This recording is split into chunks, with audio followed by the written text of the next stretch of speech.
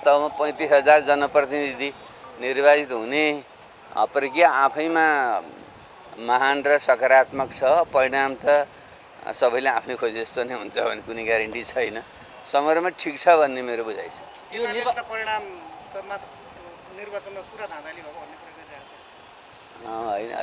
लाग्छ? होइन हाम्रो लोकतन्त्र भर्खर भर्खर हुर्काउँदैछ। बच्चाले जसरी फोहोर गर्छ त्यस्तै अलिअलि फोहोर त हाम्रो पनि छ।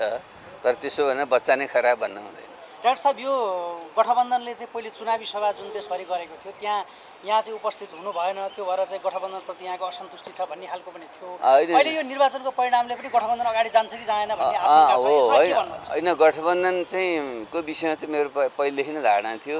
यो स्थानीय तहका मुद्दाहरू स्थानीय जनतालाई पार्टी नेताहरूलाई थाहा हुन्छ। केन्द्रबाट नै गरेर यसलाई टुङ्गो लगाउने विषय यो होइन।